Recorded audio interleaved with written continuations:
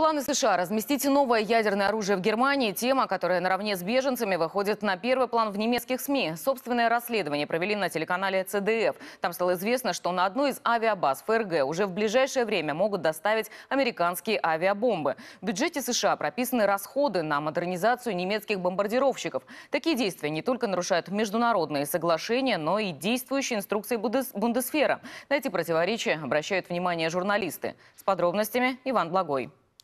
Прогуливаясь по старому бункеру правительства ФРГ, экс-статс-секретарь Министерства обороны Германии Вилли Вимер в эфире второго немецкого канала рассказывает удивительные для нового поколения немцев вещи.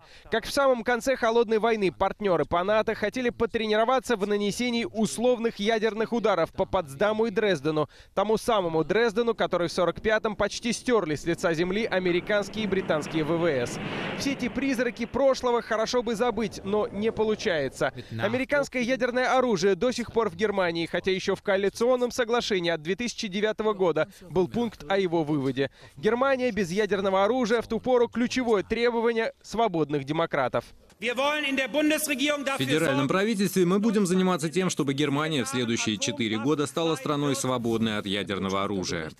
Так многое о немецкой политике, оказывается, можно узнать из документов, опубликованных на сайте Wikileaks. Шесть лет назад американцы были не на шутку встревожены. К ним послали гонца. Ноябрь 2009 Американское посольство в Берлине. Там встречается советник Меркель по вопросам безопасности и посол США. Немец успокаивает американцев. Меркель не хочет выводить ядерное оружие. Уже после этой встречи в 2010-м Бундестаг обращается к правительству Меркель, чтобы оно потребовало убрать американские ядерные бомбы из страны. И ничего. Дальше больше. В ближайшие годы США хотят разместить в Германии еще более совершенное ядерное оружие. Речь идет об умных бомбах нового поколения Б-61-12. По мнению многих экспертов, они стирают грань между тактическим и стратегическим ядерным оружием. Вопрос к Ангеле Меркель от ЦДФ. Поддерживает ли федеральное правительство довооружение, атомное довооружение в Германии? Мы будем разговаривать об этом с США. Возможно, Министерство обороны уже начало это делать, я не знаю. Я уточню, и затем мы предоставим вам информацию.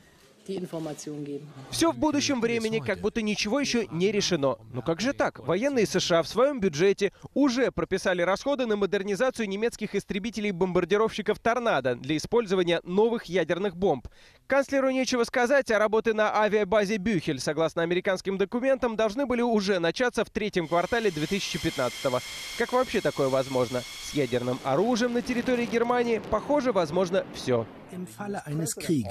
Если президент США и НАТО санкционируют применение ядерного оружия, то американские военные передадут его немецким летчикам, после чего военно-воздушные силы ФРГ нанесут удар атомным оружием по определенной цели. Это удивительная ситуация для страны, которая обещала отказаться от прямого и косвенного доступа к оружию массового уничтожения. Это тем более удивительно для страны, которая закрывает даже атомные электростанции под предлогом того, что мирный атом может представлять опасность. Более того, как показали журналисты ЦДФ, действующие служебные инструкции Бундесвера запрещают немецким солдатам применять ядерное оружие. Такие очевидные противоречия беспокоят Москву.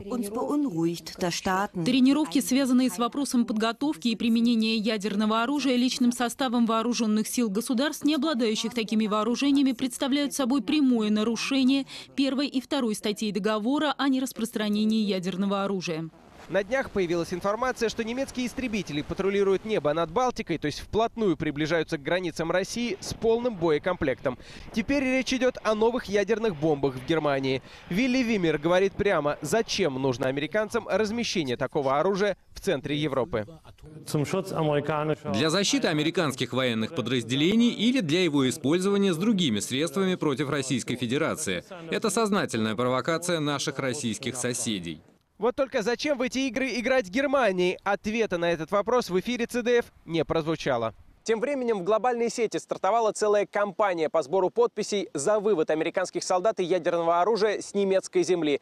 Инициатива, скорее всего, бесполезная. Если уж правительство Германии осталось глухо к требованиям Бундестага, то что может изменить какая-то петиция в интернете? Иван Благой, Дмитрий Волков, Ольга Ледовская, Первый канал, Берлин.